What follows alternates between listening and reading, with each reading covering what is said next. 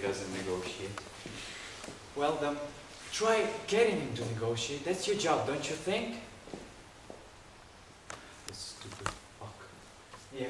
You know what? Let us try the Congress of the United States of America. You watch me put some hot sauce on this fuckers to bully. Hold for a minute, will you?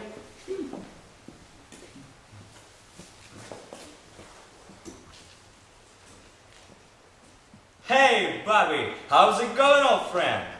Not too bad, not too bad myself. Listen, buddy, I need a little favor. No, no, this time not the Indians, Greeks, the floating casino in South Florida. I told you about it.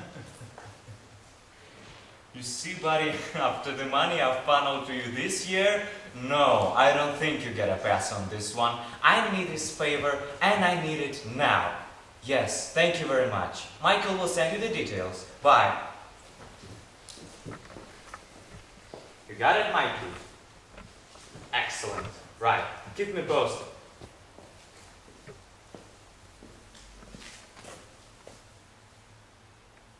You know, I do a shitload of reading and praying and studying, and I've come to a few conclusions I want to share. People look at politicians and celebrities on their TVs, the newspapers, the glossy magazines. What do they say? Oh, I'm just like them. I am different. I am special. I could be any one of them. Well, guess what? You can't.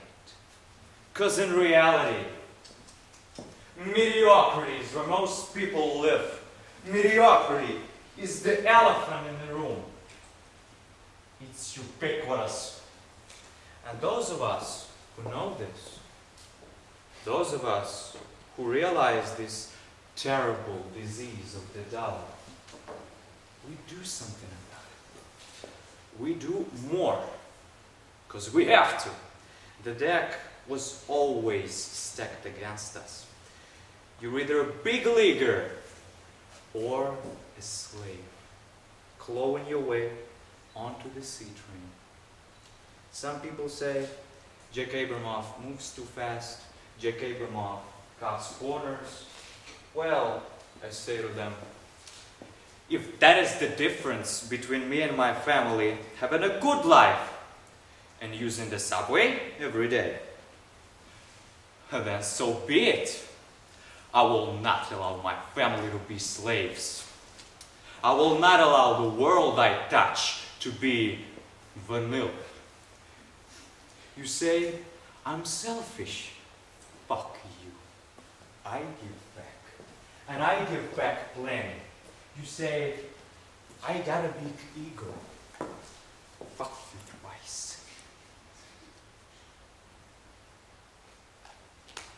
I'm humbly grateful for this wonderful gift that I received here in America, the greatest country on this planet.